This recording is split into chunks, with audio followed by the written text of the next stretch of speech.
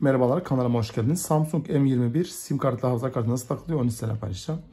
Sim kartlı hafıza kartı takmak için kendi iğnesini kullanın. Kendi iğneleri uçları sivri olmadığı için ekrana sim yatağı zarar vermez.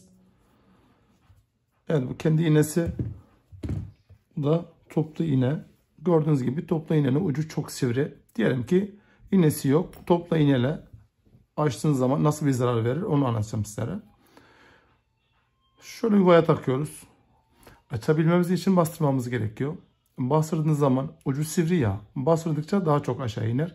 Cihazınız garantiliyken garanti dışı yapar. Ekran zarar görür. Sim yuvası zarar görür. Peki ne yapmam lazım? Geçici olarak kullanmak için. Ucunu biraz kestirin. Biraz küretmeniz lazım ucu. Kürettikten sonra geçici olarak açabilirsiniz. Ama sürekli açmanızı tavsiye etmiyorum. Evet kendi iğnesi derken bunu standart bütün cihazları aynı iğneyle açabiliyorsunuz.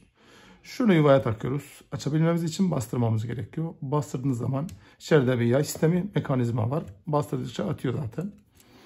Evet Samsung M21 çift sim kartı aynı anda kullanabiliyorsunuz. Aynı zamanda hafıza kartı birlikte kullanabiliyorsunuz. Çünkü bazı modellerde hafıza kartı kullandığınız zaman ikinci simi kullanamıyorsunuz.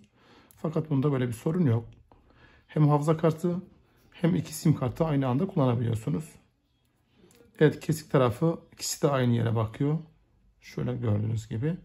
Çift tarafları genelde arka kapağı bakacak şekilde takıyorsunuz. Evet Samsung M21 sim kartlı hafıza kartı taktık. Taktıktan sonra diyelim ki sim kartı görmüyorsa cihazı yeniden başlatmanız gerekiyor. Bilginiz olsun. Evet videonun sonuna geldik. Bir dahaki videoda görüşmek dileğiyle. Hoşçakalın. Sağlıkla kalın.